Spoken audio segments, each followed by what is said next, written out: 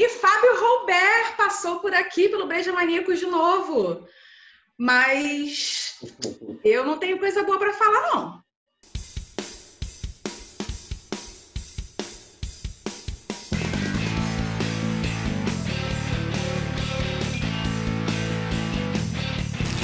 Fala galera do Breja Maníacos, estamos aqui mais uma vez com. Vocês já viram muitos vídeos com o Fábio, Fábio Roberto.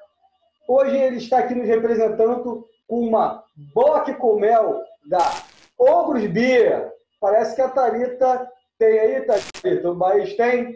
Não, tô chupando o dedo aqui. Me deixou de fora. É, é pessoal. Acho que eram as duas últimas que ele guardou pra gente. Isso é, isso é muita maldade. É. De qualquer forma, a gente colocou a Thalita aqui para participar com a gente, para ela ficar como ouvinte. É, a gente vai tentar manter sempre três breja maníacos aqui, sempre gravando. É, a cerveja, como o Renato já falou, a Bock com mel, ela tem é, 20 de BU e 7,9 de teor alcoólico. E ela tem adição de mel silvestre. Se não fosse, se fosse um melzinho normal, não seria o Fábio Hubert, né, cara? Então tem que ser mel silvestre, aquele mel mais, é, digamos assim, rústico possível, não é isso? Galera, é, vocês já acompanham muito o Fábio aqui no nosso canal, nós temos vídeo com ele. Ele sabe de cerveja, sabe da charada da cerveja e sabe fazer cerveja. Ele ganha concursos aí com alguma, alguns estilos. É, ele tem uma cerveja para mim, um apacaxi, que é sensacional, costuma ter uma mão boa para fazer cerveja. E eu espero mesmo dessa boca com mel que o Bahia já salientou. A saída é saborear, não dá para ver na chita aqui no meu copo. Ele vai fazer o áudio para vocês. Abrir, você falar, eu abri. É, a Thalita, enquanto o Bahia abre, vai falar um pouquinho desses adjuntos, né?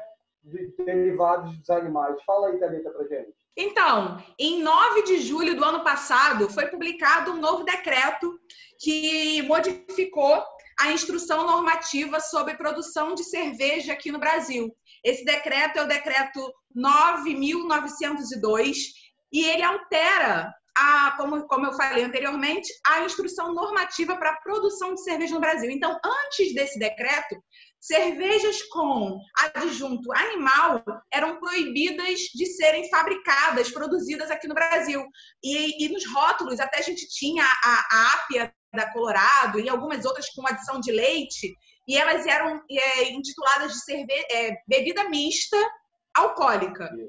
E a partir de 9 de julho do ano passado, com a, a publicação desse decreto que mudou a instrução normativa do mapa, é, os adjuntos cervejeiros se ampliaram aqui no Brasil também. Então, a gente pode ter adição de leite, de mel e de outros que eu não estou lembrando agora, mas que são adjuntos oriundos de animais. É, Thalita, a única observação que eu vou colocar é que as cervejas não eram proibidas, né? Só não eram cervejas. Elas é, não eram.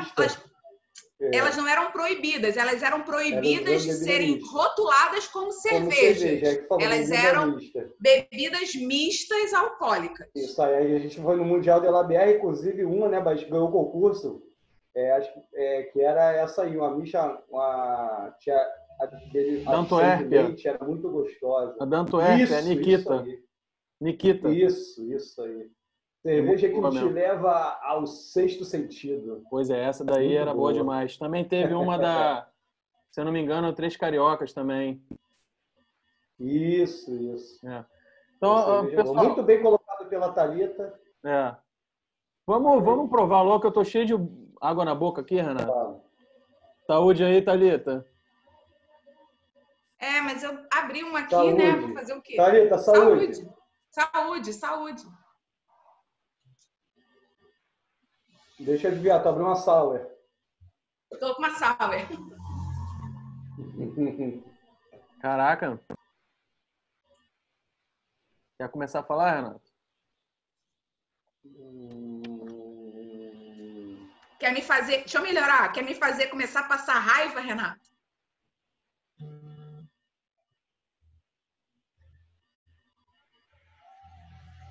A cerveja, como eu vou dizer,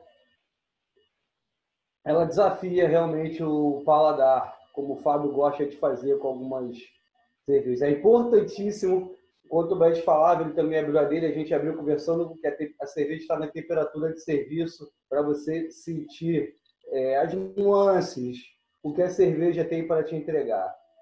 Ela é, eu sinto ela bem, bem doce, é, esperado né, pela adição de mel, é, agora, é, agora eu vou perguntar para vocês, passar a bola para vocês, Gil. A mel silvestre é o quê? Qual a diferença do mel silvestre? Que ele não passa pelo processo de refinação, é isso? Eu acho que ele é mais rústico. Eu acho que ele é mais rústico. Eu posso procurar saber, depois a gente bota até nos comentários. Ou deixa até aberto para a galera escrever também para a gente isso. Eu acredito que seja mais rústico, ele não, não tenha uma, uma pegada mais industrial, seja mais natural, digamos assim. É. Mas o que, que você achou da cerveja? O que, que você. É, qual a nota que você dá? Você sentiu gosto de mel? É, eu, eu, eu, particularmente, senti um gosto de mel, aquele. Exatamente isso, aquele mel mais amarguinho, entendeu? E não sei se, se é por conta disso também, por ser um mel silvestre, ou se também é por conta de ser uma bock. Uma bock é uma, uma cerveja que, que leva malte torrado.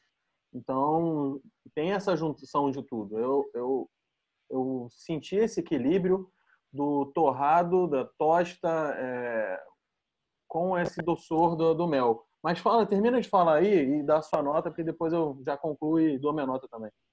É, você complementou o que eu ia falar em relação ao equilíbrio, porque ela, por, por isso eu fiz a pergunta do mel, Silvestre, porque ele não sobressai. Geralmente, quando você bota mel em alguma coisa, ele sobressai talvez seja no processo de fabricação do mel, não no processo de fabricação da cerveja. É uma cerveja que ela preza por isso, é uma cerveja equilibrada. Ela realmente tem bastante equilíbrio, nada sobressai, nada fica salientado. Daí a importância de ela estar realmente é, o mais tempera, no, no, naquela temperatura, saborear mais um pouco. Porque é diferente, cara, é uma cerveja diferente. Eu, o Fábio me deixou mais uma vez aqui sem palavras. É, vou avaliar pelo que a cerveja está me entregando no momento, porque eu sou sincero, não conheço muito do estilo, é, mas ela me entrega equilíbrio. Ela me entrega equilíbrio, a cerveja encorpada, é, pegando mais um carona aí no que o Baez me explicou da Bock. É, eu acho que ela está toda dentro do que o Fábio quer entregar. Ela é muito elogiada no meio cervejeiro e a minha nota é 9.9. Sabe o que é 10? Porque ele me deu para a Thalita uma. Obrigada, Renato. Obrigada. É, o, o, engraçado é que a cerveja tem 7,6, se eu não me engano. Deixa eu ver aqui. 7,6 de teor alcoólico. E não aparenta ter isso, cara. Acho bem. É bem perigoso, inclusive. 7,9. É bem perigoso. Verdade, verdade. É, é uma cerveja para dias é, frios é, vai muito bem com, com, com sobremesa também, vai, vai muito bem com, com carnes gordurosas, linguiça, enfim. É... Carne de caça. Carne de caça. Eu gosto bastante das cervejas do Fábio, eu sou meio suspeito para falar, já comentei aqui em alguns vídeos passados da, da apacaxi dele. É, essa cerveja aqui não ficou para trás. Eu continuo achando melhor a abacaxi dele, até mesmo por conta de estilo. Eu gosto mais do estilo. É, mas essa cerveja aqui, como eu já falei, cara, totalmente equilibrada, com a torra e, e com, com mel. Não, assim, tinha o perigo de deixar ela meio enjoada por conta disso. É, do doçor a mais do, do, do, do mel mas realmente ficou muito equilibrado, cara. Eu, assim, não é à toa que o Fábio tá, tá se saindo muito bem nos, nos concursos, né? Inclusive já ganhou o concurso com a Red Ale dele. A minha nota é. Eu acho que eu vou seguir o Renato, 9,9, porque não deu a, a cerveja para a Thalita. A Thalita não deu. É. A Thalita não ganhou, ela tá ali olhando, te marcando durinho. É, o que eu queria falar também do Fábio é o seguinte, a gente conversa muito e o bacana é que ele não deixa. Por que, que ele faz cerveja boa? Porque ele não deixa a qualidade. O material que ele compra é sempre de qualidade. Lucro Muita de qualidade, qualidade. malte de qualidade. É, e ele não ele está preocupado em ganhar concurso. Ganhar concurso é consequência. Ele está preocupado em fazer cerveja boa. Tanto que a gente ia conversar e falar assim, pô, Fábio, mantém o padrão. Ganhou concurso, ele não quer, ele prefere não, não fazer revenda porque às vezes a revenda você tem que baixar o preço. Tem, a conta não fecha, né? É, a matemática é simples. Qualidade, preço um pouco mais caro. Pouca qualidade, preço mais barato. Isso que a gente fala o tempo todo no canal. Então o Fábio mantém, ele evita até de, de vender, de fazer alguma coisa, justamente porque acho que a pessoa tem que experimentar, ver que é de qualidade, conhecer de cerveja, para poder adquirir o produto. Exatamente. Ah, é... Eu acho isso um sacrilégio. o que? a gente, é um, a, gente, a gente é privilegiado por conta de, de, desse, desse passado do Fábio aqui no canal e ele manda cerveja pra gente, né? Ele mandou uma. Fábio Roberto. Ele mandou uma também, uma fake lager com. Com o que mesmo, Thalita? Que você gosta de falar? Qual fermento? Qual. Que vai. É, a levedura que vai. Cara, eu não provei ainda. O Renato provou. É, é, é exatamente. Ele, ele consegue fazer umas coisas. É boa, meio... sensacional. É, ele, ele é meio mago, né, cara? Ele consegue fazer umas cervejas. Ele é meio grão para fazer as cervejas, assim, mas o resultado sai sempre muito bom. Por isso que é Ogros Beer, né? E o que, que adianta? Ele é bem louco fazendo, faz. Mas o que, para que, que. E aí, e aí eu me pergunto, do que, que adianta? Faz cerveja boa, faz cerveja que a galera elogia para panelinha? E a galera que quer experimentar? Ah, é, faça-me um favor. Careta, Fábio, ele foi um dos idealizadores aqui do canal, então você está aqui também por conta dele. Segura a onda que tu vai chegar a sua vez. Não, e aí, quando chegar a minha vez, eu espero que venha a pacaxi, a boque com mel, a fake lager. Eu espero que venha o, o, combo completo, né? Pelo amor de Deus.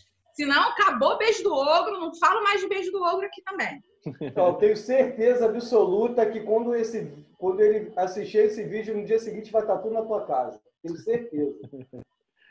Do jeito que ele é exagerado, tá arriscado ele fazendo a é... Prepare-se, vai ter umas 15, umas 15 garrafas de cada estilo na tua casa. Prepare-se. Então é isso, pessoal. Vou cobrar, hein, Fábio? É, então essa, essa cerveja aqui é mais para nostalgia mesmo, falar um pouco do Fábio, falar do que ele representou aqui no, no, no Breja Maníacos também. É, e falar que ele continua fazendo cerveja e gostando dessa, dessa área aí. E parabéns por mais uma cerveja, Fábio. Continue assim, você é diferenciado nisso. E é isso. Alguém quer falar mais alguma coisa? Eu já falei, né? Tô esperando a minha, mas se dirigir não bebo, se for beber, chama a gente. Parabéns, Fábio. Tô agora quero experimentar a minha. Sair saborear. Valeu. Tchau, tchau.